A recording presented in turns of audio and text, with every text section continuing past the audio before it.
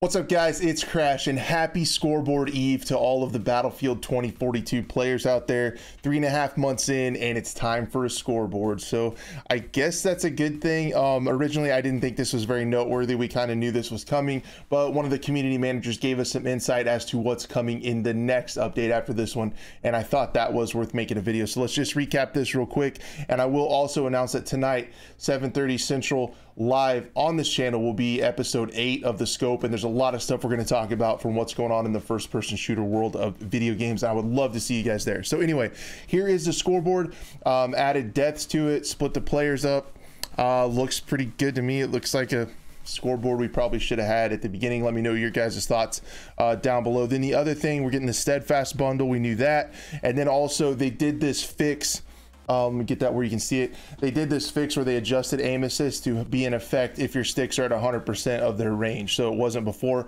Hopefully this is the aim assist. I'm not too familiar with console and how aim assist feels. I've heard a lot of people talk about how it feels kind of off and weird. So hopefully uh, this fixes that. It makes aim assist feel a little bit better to you guys. Everything else is uh, really minor.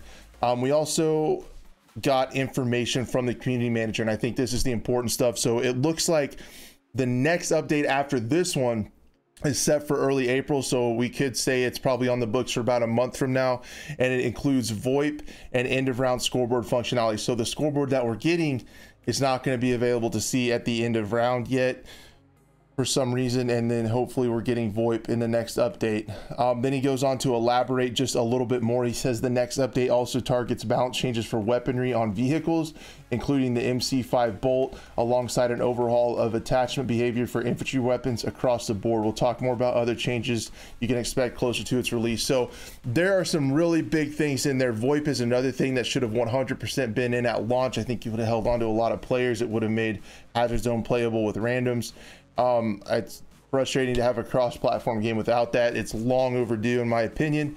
A lot of these updates sound really good, and then an overhaul of attachment behavior for infantry weapons across the board. That is another massive, massive thing that needs fixed. That should have been fixed at launch. A lot of the attachments don't do anything; they do the same thing. And as far as I know, the plus system is still bugged, or even if you just change a sight or something, your recoil drops by about 30%, and it doesn't matter what uh, piece of uh, like what attachment you use. It just changes it. So I think that is really, really important.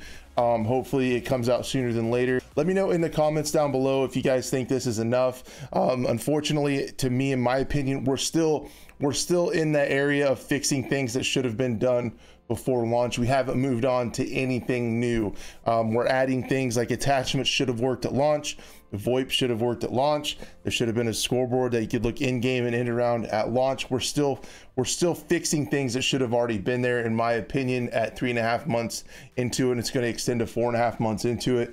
And then yeah, we're not even even close to talking about season one yet, which I just think is way too late for a AAA game at this price point. But anyway, guys, let me know what you think in the comments. Hopefully see you tonight at 7:30, and thanks for watching.